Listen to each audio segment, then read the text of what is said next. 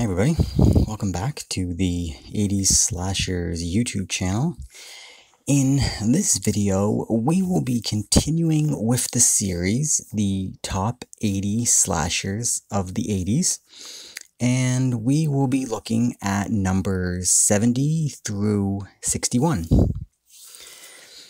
Now, in the the last video in this series, where we uh, we counted down numbers 80 to 71, those films, even though there were, you know, uh, a few surprises that, um, you know, judging from the comments, many of you thought uh, probably should have made it higher. Um, so yeah, regardless of that, all all ten of those films were ones that that, that I did like. I liked all of those films. They were just some that, uh, you know, just had a, a few problems. Um, with them, and you know, in my opinion, that just kind of prevented them from ranking any higher. The the the 10 following films that we're about to discuss, uh, once again, are all ones that I enjoy quite a bit. Um, I, I, like all of these films. And they, again, they either have some minor problems, um, or, you know, they're, they're just, they just simply can't measure up to some of the, you know, the better films within the genre.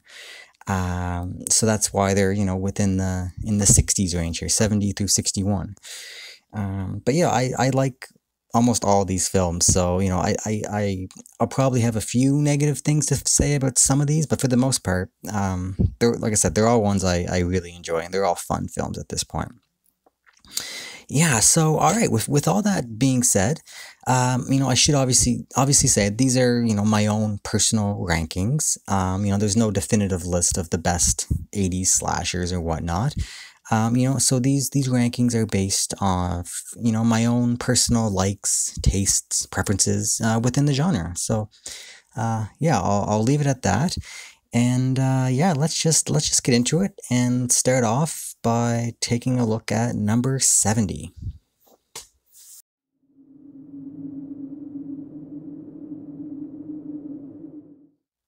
All right, so coming at number 70, uh, from 1981, we have Don't Go in the Woods, or Don't Go in the Woods Alone.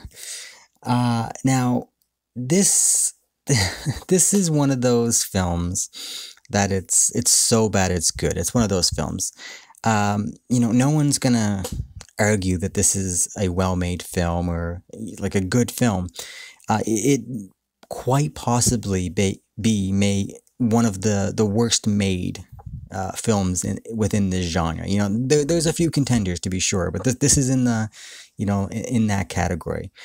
Um, but you know, like um, in in the last list, we we talked about at number eighty, uh, the Nail Gun Massacre came in at number eighty, and like like that, this film is just this is just a really fun slasher to watch. Uh, you know, the acting is beyond terrible in this film. The dialogue is is equally terrible. Um, but you know, it's super cheesy. And I just I don't know what it is. I just I just love it all. It's just one of those films. If you're in the the the right like if you're in the right mood um, this this film will definitely uh, suit you for for what you're looking for. It's just one of those. Just sit back and have a good laugh and be entertained, and it, it is entertaining. I find it entertaining. Um, the kills aren't too bad. Um, you know, considering I think the the budget on this film was was around one hundred and fifty thousand dollars. So you know, considering that, they there was a lot of blood effects, and there was there was they were pretty good. They the, the guy I, I kind of like the kills in this film. You know, at least they tried. Some of these films, they don't even try. They don't have the budget, so they just skip over it or whatnot. Um, at least there was an attempt to make some nice practical effect kills in this film. So yeah, like I said, not not a good film. Not not saying this is a good film, but it's uh, it's one that's certainly a blast to watch. You know, you have some drinks or whatever whatever your choice of um, you know is to indulge and to enjoy these films and sit back with some friends and just just have a good laugh. That that's what this is. So yeah, so coming to number seventy, uh, don't go in the woods. All right, let's uh, take a look at number sixty-nine.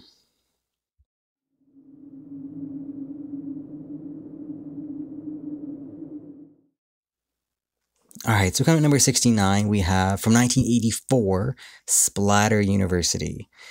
Now, again, this is this is another film that's very similar to Don't Go in the Woods, as it's uh, another one of those so bad it's good films for me.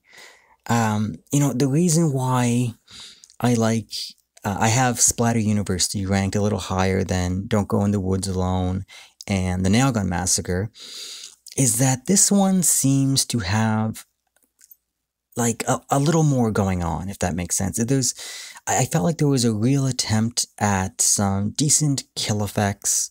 You know, again for the, for the budget, like there's nothing great about this, but um, I feel like there was a real attempt at it. There was an attempt at creating a decent plot where there's like a twist or reveal that kind of works. Um, like like the, the, there was kind of a script, like I said, an attempt at a doable script within the, within this genre.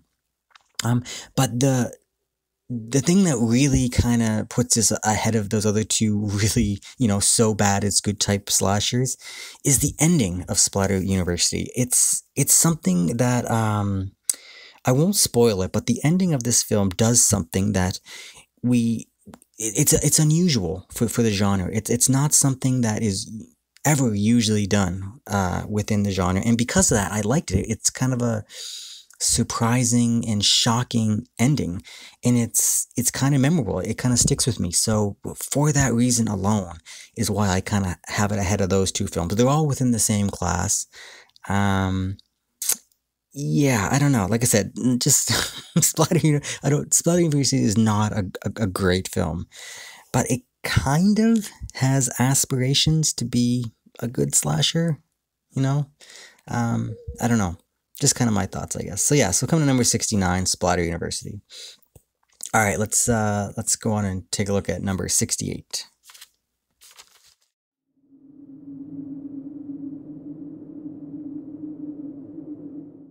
All right, so coming to number 68 from 1987, we have Blood Harvest. Now, this is a film that um it kind of surprised me because of uh, like it's kind of a recent watch. I reviewed it on the channel. You can find it on the channel. Um, it kind of surprised me just because of how sleazy it was. I, I wasn't I, I I didn't know. I wasn't under the impression that this was like a sleazy type of film. Um, but it, certainly is. This has a yeah a, a really good sleazy vibe to it. And I love I love the sleaze. I love the sleazy slashers. Um, you know, this isn't like you know, like like Maniac or New York Ripper, not that sort of sleaze. But um there's yeah, there's there's a lot of things going on here. This this film doesn't feel like a a slasher that has like a lot of depth to it. it it's pretty simple.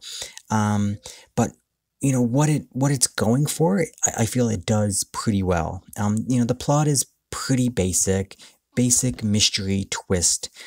Um, you know, it's kind of like a, a farming slasher. Like it's pretty stationary. That the setting, it's just a, a, a, like a like a farmhouse. And like I said, there's not a lot of depth to it. There's not a lot going on. It, it's basic, but it, it, it pulls it off pretty well. And like I said, with within like the the the mystery surrounding um the story, there is a lot of like sleazy like sexual assault type of scenes and, and kills, which is it, it, stands out. Like there's there's a lot of nudity in this film, like a lot of nudity. Um, it, it's it, it's all like the main actress, like the the final girl. She's naked for like fifty percent of the film, and and it's and she's in scenes that are like you know getting she's getting drugged and unconscious, and people are tying her up and taking advantage of her. It's just it's some of the scenes are really difficult to watch. Um, yeah. And of course, this film has Tiny Tim as an attraction or a draw, and he's all right. You know, he and he provides some extra creepiness because he's kind of a creepy guy. Um, like I said, the, the kills are pretty good. They're pretty graphic, but they're all the same. Like, which is kind of disappointing. Like, it's basically just like throat slits, which I love. I love throat slits. It's one of my favorite types of kills in these films, but uh, there's no variety. It's, it's basically all the same. Um, yeah, so yeah, Blood Harvest is definitely a solid slasher that just, you know, it, it has a little sleaze factor to to help it out. So yeah, number 68, Blood Harvest. All right, let's uh, take a look at number 67.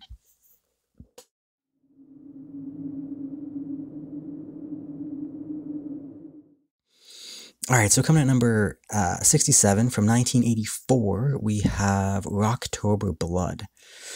Uh, now this is best described, I guess, as a like a rock and roll slasher, and it's because of that it's a lot of fun. You know, there's there's this film has many elements that just kind of help it elevate it.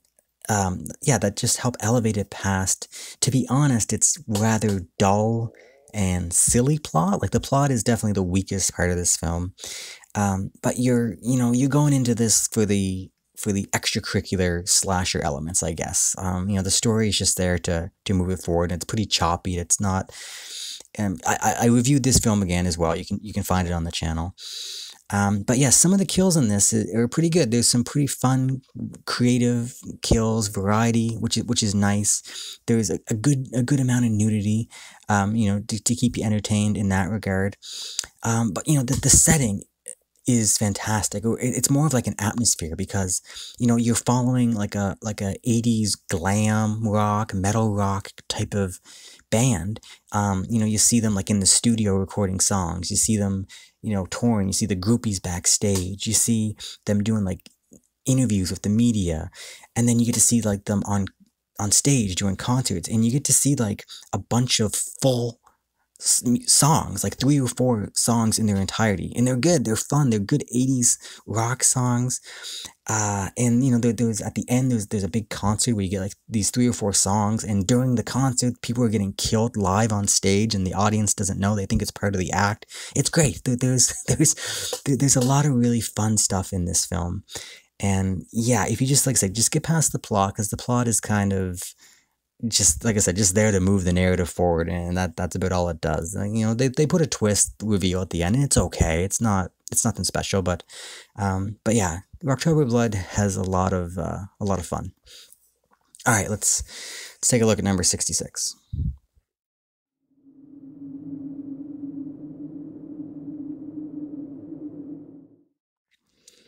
All right, so Coming at number 66 from 1988, we have Cheerleader Camp. Now, um, yeah, Cheerleader Camp is your typical late 80s cheese fest. Uh, you know, it's yeah, it's super cheesy, but it's it's really fun. Um, you know, again, the the camp setting is you know kind of the star of the show here for me. It's it's it's really fun. This is like well, a cheerleader camp, like a camp where a bunch of cheerleaders go and they do competitions, they train, they practice, and they have these cheering competitions, which is just it's so cheesy, so fun. Like the cheers, like there's some rapping, which is terribly oh man, it's it's it's terrible, but it, it's so fun to watch. Um, yeah, fantastic setting. Uh, there's some there's some really good kills, some pretty good variety. Um, so you know, there's that to look forward to. There's some good nudity. Uh, this film actually stars. Um, well, first off, it stars one of the main stars is Betsy Russell, who's like a you know an '80s bombshell. Like, you know, she was in all these like private school, tomboy, all these, uh, one of the angel films. She's like one of the, you know, the, the 80s teen sex comedies girls who are always taking her clothes off. And I don't think she takes her clothes off in this film, which is kind of ironic, but she's beautiful. And then it also has Teri Weigel, who went on after this to have a long career in the adult film industry. And if she, she of course gets uh, has some nude scenes in this film. So, yeah, really attractive women, um, good kills. So it, it's good for that.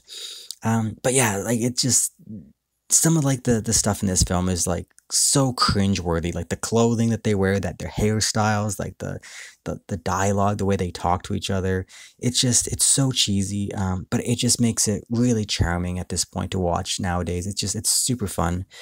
Um, and again, the, the the twist at the end of this film is actually pretty good. Um, you know, because of some of like the subplots that they set up throughout the film um, that plays out with one of the characters.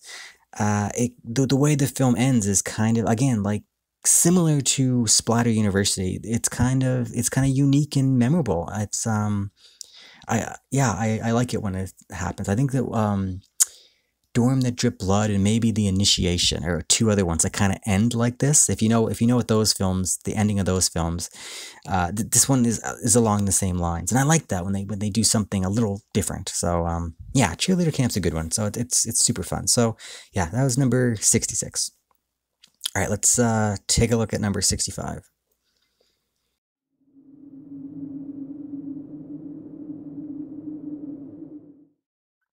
All right, so coming at number 65 from 1982, we have Girls Nite Out. Um, now, this is a this is uh, this is kind of like an underrated, little known early 80s slasher that that doesn't really doesn't really get talked about too much. Uh, you know, it's never gotten a Blu-ray release. It's actually getting a Blu-ray release, which you know, I'll talk about that in another video, which is good.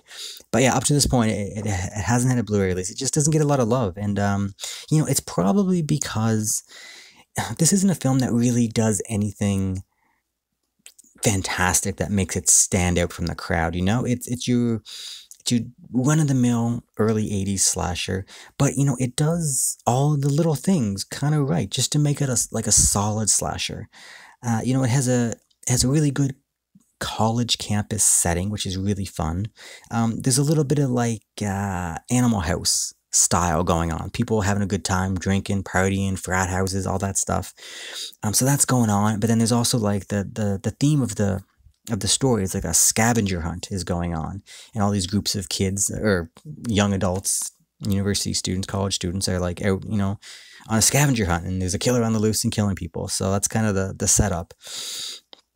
Um, and it's it's you know it's kind of unique and fun within the genre. I like I like the scavenger hunt. It's you know it, it's a good way to get people in different um, different locations across the campus. Like I think they go to like a graveyard at one point, and like in the basement. So like they, they can put them wherever they want because they're you know hunting for clues, and they it's a good way to get people alone. So it, it's fun. It works really well.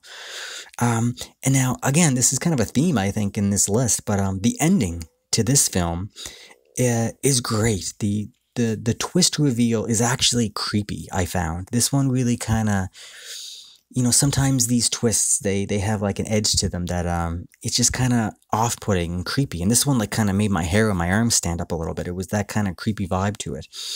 And it ends on like a like a freeze frame. And like as the credits roll you're staring at this last image. And again it's it's unsettling and very memorable. I just the, the ending of this film just has always stuck with me. Uh, so I, I feel like they they really they really nailed it with this one. So yeah, Girls Nite Out is just like I said, a, a solid, enjoyable early '80s slasher. You know, it doesn't do anything fantastic, but it's it's good. It's definitely check it out. And you know, when the Blu-ray comes out, that's uh, yeah, it's definitely gonna be a good a good one to pick up. All right, let's uh, let's move on and take a look at number sixty-four.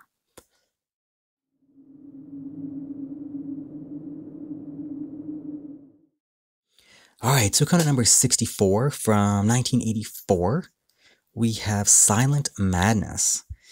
Now, this um, this is one of two films um, that are considered 3D 80 slashers, um, along with you know Friday the 13th Part 3 and I, I for that reason I I love this film because of that. Um, you know, I own the Blu-ray, and you know my my last rewatch was was in 3D from the Blu-ray, and it, it was so much fun. I had such a good time, such a good experience.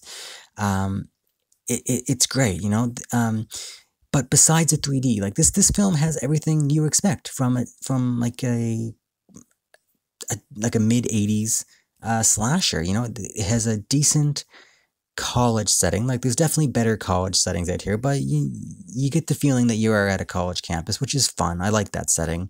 There's some really good creative kills. Um, they're unique. Like there's lots of different variety in some of the kills, and like I said, some of them are you know filmed regularly and just you know but some of these kills were filmed specifically for 3d so when you watch it in 3d it they're they're great they're, they're fantastic um, there's you know it, it has the you know the mandatory nudity that that's in it. Um, the killer's all right. He's probably the weakest part, I would say, of this film. Uh, not the greatest, but like I said, the the three D effects are great. This is, um, again, it, like it's based on the the Vinegar Syndrome Blu-ray that I have, but um, it, it it's why it's is without the 3D, it would probably be a lower on this. Um, but it, it's still like a really good. It's I, I, it's similar to Girls Nite Out, um, like a, a solid slasher. Does everything just really well. Um, nothing great, but just everything is solid. But you know, you add in the 3D, and some of the kills are fantastic, and some of the nudity is fantastic. There's like they they really use the 3D really well, and it, it's just it's really fun to watch. So yeah, I I really like Silent Madness. I thought it was I think I think it's a good film. All right, let's move on to number 63.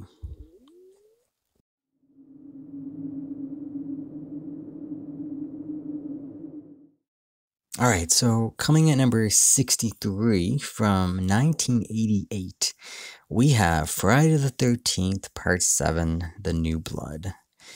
Now, this is definitely going to be a surprise for some. Um, I'm sure I'm going to hear about this in the comments um, as to why I have this film so low, but this is without a doubt my least favorite of the Friday the 13th films um, from the 80s.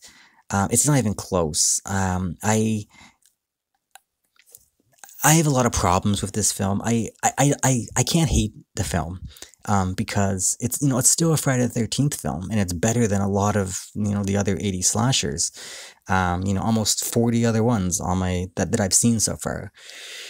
Um, but in in comparison to the other Friday the Thirteenth films, I, I, I consider this bad um, in comparison to other 80s slashers that are that are worse. It, it, it like I said, I, it's not a bad film. I, I I, I like it. I just as a Friday the Thirteenth film, I, I don't like it. I guess. Um, it's just there's a lot of problems with the plot. Like it, I, I don't like the ending with like the whole father reveal. It just it doesn't make sense, and it kind of takes me right out of it. And kind of ruins the whole experience for me. I won't get into much of that, but that that's kind of really has always bugged me. Um, I don't like the whole Carrie versus Jason angle. It's just, I don't know. It was unnecessary. You know, this is like the the second film in the franchise where Jason goes supernatural, and they, you know, they really upped the upped the supernatural with the whole Carrie thing. It's not really explained well. It's just, I don't know. I just, I, I, I have a, pro- a, lot of problems with this film.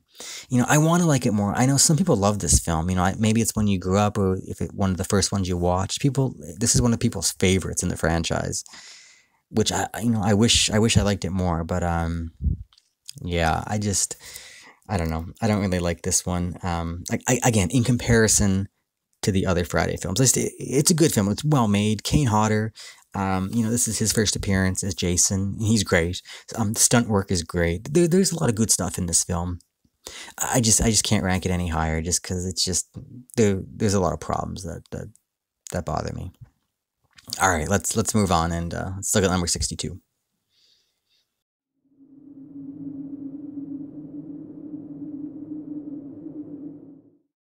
All right, so coming at number 62 from 1981, we have Hell Night.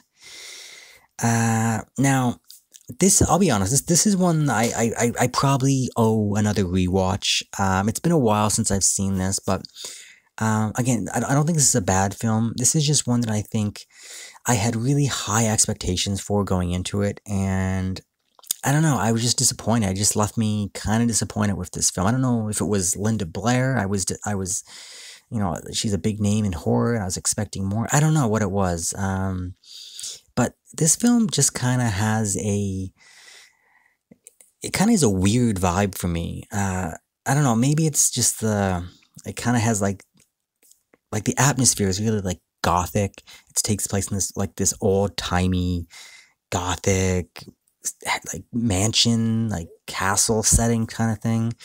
Um, and then there's like a ghost story kind of theme running throughout it, which is which is weird.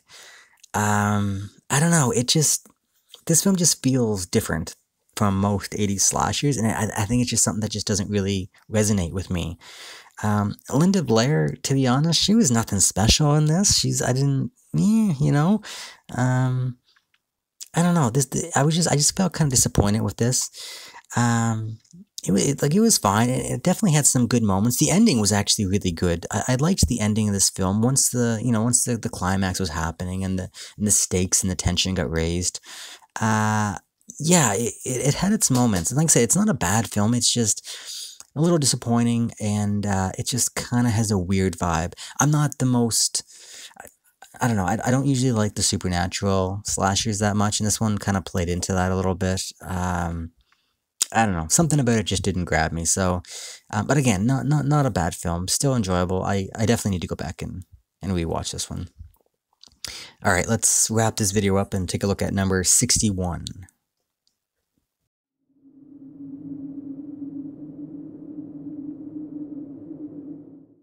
All right, so to number 61 from 1982, we have Alone in the Dark. Now, um, this is one of those films that is, I, I consider it's a great horror film. Uh, but it's it's not so great of a slasher. Um, you know, it, it, it definitely does have some really good, you know, slasher moments, but it feels again, it, it has a different feel to it. It feels more like a like a serious, like adult slasher. You know, not not not one of not one of the like one of the mill made for teenagers going to the theater to watch. You know, you know with with a bunch of friends.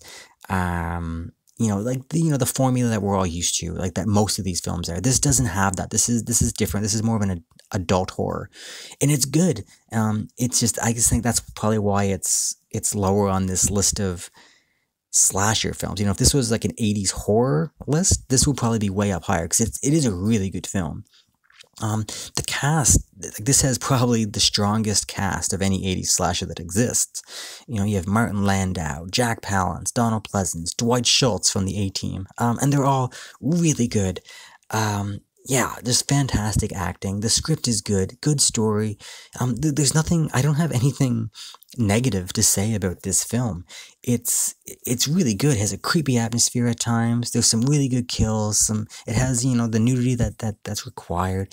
It has a little bit of everything. It's just like I said. It just feels um, different within the genre. It feels more of a horror film than a slasher film, even though it is it's clearly a slasher film. So it's just um, I don't know. It just kind of has a weird spot in in this list of slasher rankings. So yeah, that that's it. That's it, everyone. That's where that's where we're gonna end this video at number sixty-one.